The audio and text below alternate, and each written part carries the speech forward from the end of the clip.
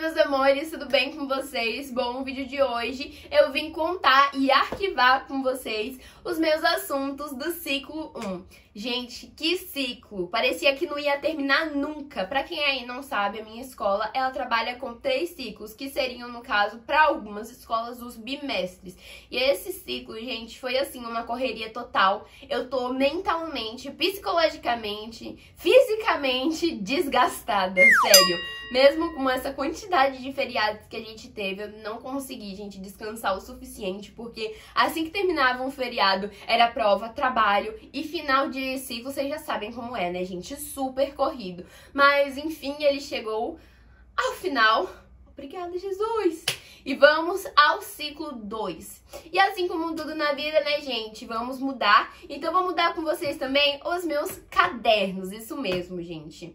Deixa eu começar, né, contando pra vocês como tá sendo. Pra quem não sabe, eu estou no nono ano e atualmente é, tá sendo um ano mais difícil, como eu já falei, psicologicamente, fisicamente, pra mim.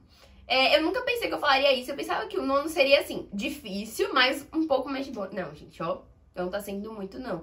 Tô tendo dificuldade em algumas matérias, no caso, em uma matéria em específico. Até hoje, a que eu tô mais tendo dificuldade é em é, física. Gente, eu não sei o que tá acontecendo comigo. Eu. Sabe aquela coisa de quando o professor faz na, no quadro, aí você fala assim, é isso? Não tô acreditando. Agora, quando você tenta fazer a questão, aí você fala, peraí, não era tão fácil assim. Não é porque eu tô falando aqui que, que, o nono ano tá difícil que você tem que colocar isso na sua cabeça, não, viu? Isso vai de pessoa para pessoa. Às vezes, para mim pode estar sendo difícil e pra você não. E assim em diante. Estamos entendidos? Eu utilizo o caderno inteligente, eles estão sempre ali me acompanhando nos estudos. Inclusive, para quem aí não sabe, eu sou embaixadora do caderno inteligente, por isso que vocês estão vendo né, quantidade de cadernos aqui atrás. Temos cupom de desconto de 10% off nas suas compras. E assim, gente, quem me viu assim no início do ano, né, quando eu tava mostrando os meus materiais do ciclo 1, sabe que eu não estava com esses cadernos. Eu tava com uma outra coleção da Go Case e aí eu troquei, gente. Eu peguei o caderno Chic Nude, coloquei com um disco do tamanho grande Rose Gold Ficou a coisa mais linda, gente. Eu amo essa, combina essa combinação, acho linda. E aí eu também peguei o caderno sereiando, rosa holográfico, e coloquei com os discos elástico rosa. E eu adoro, assim, gente, cadernos do tamanho médio. Pra quem não sabe, caderno inteligente, quatro tamanhos disponíveis. Grande, médio, assim, com inteligente. Mas, enfim, gente, pra arquivar os meus é, assuntos, o que, que você pode estar tá fazendo? Ou você pode pegar uma capa, por exemplo, que você não usa mais, coloca com um disco grande e põe todos os seus assuntos dentro. Ou você pode estar utilizando a pasta organizadora do caderno inteligente. Essa aqui é a pasta deles. Eu coloquei essa aqui com o disco do tamanho grande, a rosa, porque talvez eu vá precisar. Mas o, é, o que vem na pasta é o disco médio, branco, e aí são três cores, o verde, o rosa e o azul. Então fica certinho, né, já para os meus três ciclos.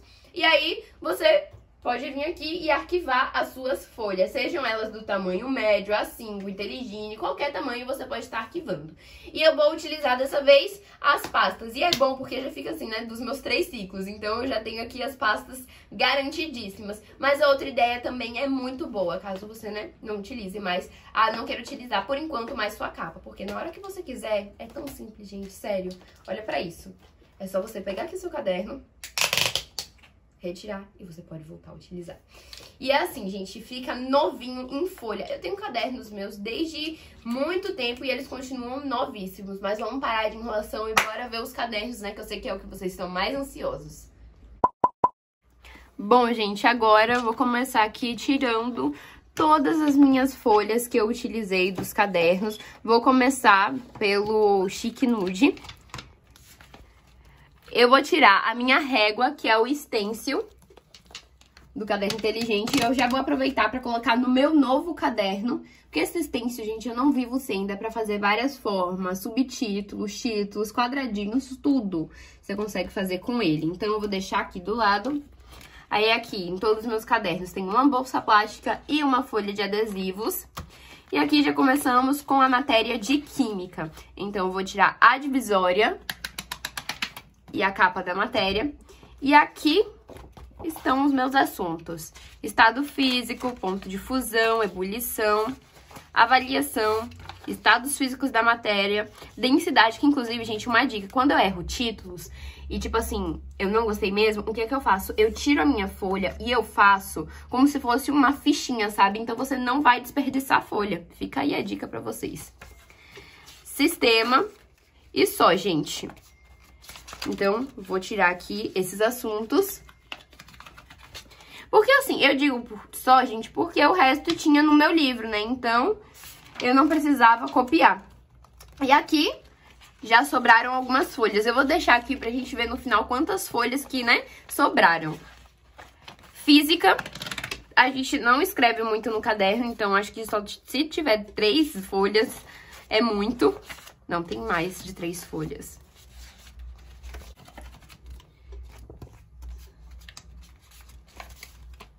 Próxima matéria, biologia.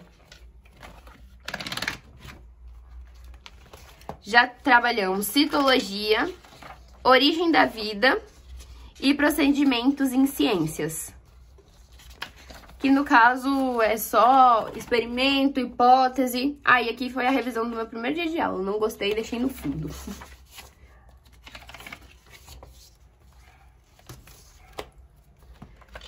Agora vamos para matemática, que com certeza é a matéria que eu mais uso.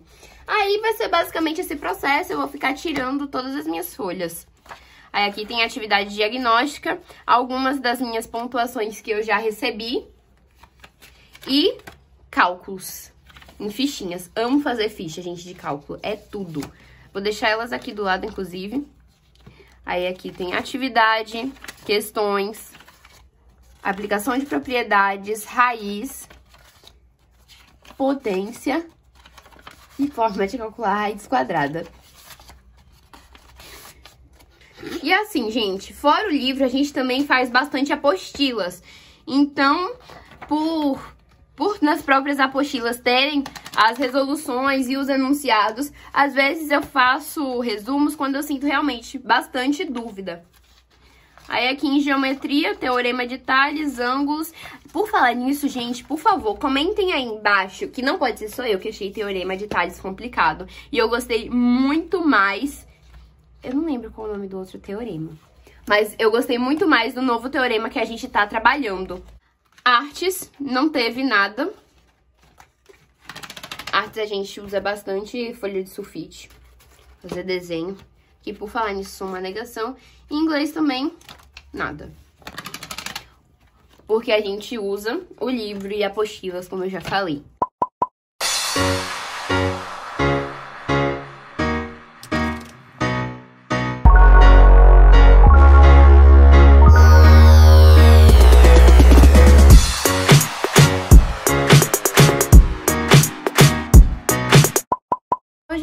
Tirei tudo e agora é só organizar. A escolhida da vez foi a pasta rosa e cabe em todos os tamanhos, como já falei pra vocês. Quando você for reposicionar suas folhas, você não pode colocar muitas de vez, então vá colocando sempre aos poucos. Prontinho,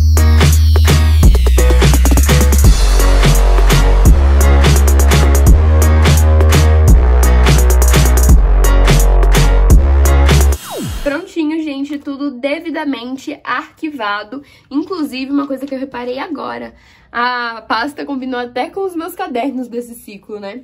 Mas enfim, agora eu vou guardar e pegar os meus novos cadernos pra mostrar pra vocês. Bom, gente, então esses aqui são os cadernos que eu vou estar utilizando no meu segundo ciclo. Começando por esses dois. Esse aqui é o Intelligine All Purple. E pra complementar, coloquei um like de estrelinha e um Gil.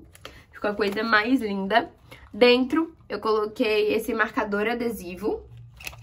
Essa folhinha aqui, com alguns, vamos dizer que adesivos de Harry Potter. E aqui, um refil de checklist. É um refil do Let's Go Cards do Caderno Inteligente. E é muito bom para anotar trabalhos, data de prova, porque fica assim, já na frente, né? E aqui, para anotar as coisas durante a semana, as folhas lisas mesmo, que já vem no próprio caderno. Também tem o caderno do tamanho médio, que esse aqui eu já montei pra facilitar, com o disco do tamanho grande. O All Purple também. Eu acho esse caderno a coisa mais linda, gente. Ele é um caderno, assim, impecável. Eu montei da mesma forma que vocês viram, é o que tem em todos os meus cadernos. É tipo padrão, sabe? Sempre tem uma reguinha, bolsa plástica, uma folha de adesivos. E aqui eu coloquei os refis e separei com as divisórias coloridas do caderno inteligente. Essas divisórias vocês podem estar encontrando à parte no próprio site do CI. As que vêm no caderno são é, duas pretas e duas transparentes, mas se você quiser outras cores, preto e branco, colorido, você encontra por lá. E aqui, como já falei, é o meu caderno para é, exatas e ciências naturais. Aí o meu outro caderno, que é esse aqui que eu vou montar agora com vocês, que inclusive é o caderno da Yasmin Galvão. Ele é muito lindo. É a coleção Ultraviolet, do tamanho médio. Eu vou estar utilizando para matérias de linguagens. Então, vou colocar esses meus dois cadernos pra cá. E aí, conforme eu for usando os materiais, eu vou mostrando aqui pra vocês com o que, que eu vou montar. Eu acho esse caderno tão lindo, gente. Fora que combinou super com os cadernos All Purple, né? Aí aqui, a tagzinha. E a capa. Linda demais, gente. É um degradê de roxo. Aí vai chegando pra um tom de rosa. Sério, muito lindo. E o acabamento do CI é impecável, né? Aqui também tem é, a forma de retirar dados pessoais. Eu deixo, gente, porque assim, sempre os meus colegas gostam de ficar tirando e reposicionando as folhas. E aí eu deixo isso aqui pra eles poderem é, retirar e aí eu vou ensinando também. e aqui a contracapa do caderno. Caderno Inteligente by Yasmin Galvão. Tá, mas pra montar, qual o disco que eu vou estar tá utilizando? Eu pensei bastante, eu ia colocar inclusive até o mesmo disco que tava no meu caderno. Até que eu encontrei, gente, esses discos aqui que estavam guardados, esperando uma oportunidade para serem utilizados, que são os discos rosa metálico do tamanho M. E eu achei a oportunidade perfeita, porque, tipo, combina super com a proposta do caderno, principalmente por ser metálico. Então, chegou o seu dia, amigão. Vamos te utilizar. Prontinho. Olha só, gente, como esses discos são lindos. Impecáveis. O caderno do tamanho médio, você utiliza nove discos. E o grande, você utiliza, eu acho que são onze. Então, agora vamos encaixar aqui no caderno. É bem fácil. Você pode utilizar dessa maneira aqui que eu tô fazendo, que é encostar as duas capas dos cadernos depois, ó. Encaixar, ou se você achar muito difícil, muito complicado não conseguir, você pode encaixar um por um. Então, você pega uma capa, depois vai colocando a outra.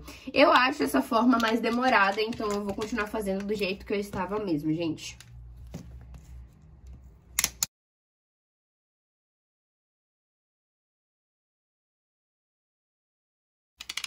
Discos devidamente posicionados, agora tá na hora do elástico. Eu sempre tive um pouco mais de dificuldade com o elástico, mas eu aprendi uma técnica que é bem simples. A primeira coisa que você vai fazer é encaixar o seu primeiro elástico, lembrando que essa pontinha aqui sempre é pra dentro.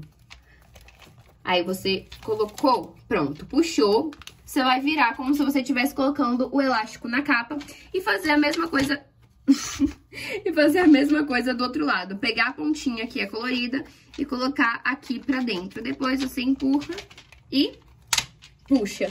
Aí aí vai ficar certo. Vou colocar, óbvio, o meu Czinho de caderno inteligente. Pronto. E agora vou colocar as minhas folhas, né? Começando pelo, pela forma de retirar e reposicionar. Dados pessoais, que eu nunca utilizo, mas tá sempre aqui no meu caderno. Desculpa, gente, mas eu tenho uma dó de preencher esse, esses dados pessoais. E aqui na frente eu vou colocar a minha folha de adesivos, que inclusive é da mesma coleção do caderno da Yasmin Galvão, Ultraviolet.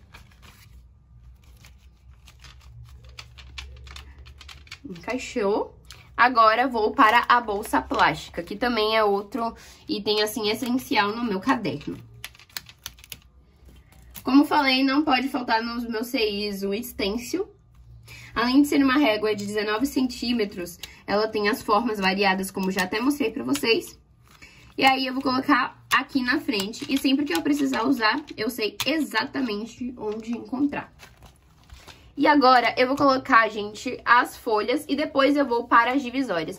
Vou tirar primeiro essas duas, que são as folhas já dos, dos assuntos do ciclo 2, crise de 1929, teorema de Pitágoras, que inclusive foi esse aqui que eu tava falando com vocês, que é uma maravilha, gente, eu adorei. E aí eu vou colocar aqui algumas folhas. Pra combinar com o meu caderno, né, gente, com essa coisa, né, eu adoro combinar. E aí eu peguei esse refil que é um refil roxo Candy Colors, do Caderno Inteligente. Ele é muito maravilhoso. Fora que a minha matéria de português, ela é roxa, então vai combinar bastante com o caderno. Então, quando eu quiser utilizar, eu já tenho as folhas aqui. São de linhas brancas, o que torna suas anotações muito mais cleans. E aí eu vou colocar. Nunca se esqueçam de, irem, de colocarem aos pouquinhos, tá? Não coloca muito de vez, porque senão pode danificar a sua furação. E se a sua gramatura... Meu Deus, tô falando tudo errado, né? Mas e se a sua gramatura for de 120, é, dá uma olhadinha na quantidade de folhas que o seu disco suporta, tá? A gramatura 120 é 50 folhas no disco médio e 120 folhas no disco grande.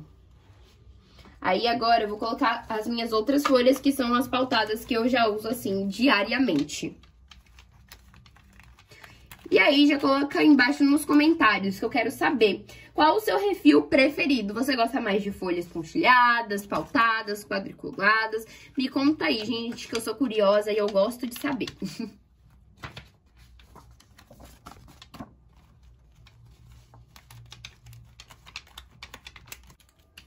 Agora eu vou separar as minhas matérias, colocar as divisórias e essa é uma das diferenças do caderno inteligente. Você pode escolher a quantidade de folhas que você vai utilizar em cada matéria. Se você precisar de, de, de mais depois, é só você pegar das matérias que você já não tá utilizando tanto.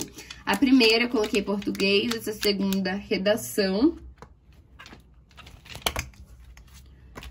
Para a terceira eu vou colocar literatura. Para quarta, história. Para quinta, filosofia. Não, geografia. Tava com filosofia na cabeça, gente. Prontinho. Aí agora, eu vou separar aqui. Como é caderno novo, eu vou ver se eu vou fazer as capas ainda, gente, porque só com divisória acho que eu fico meio perdida. A primeira é português, a segunda é redação, terceira literatura, a quarta é história.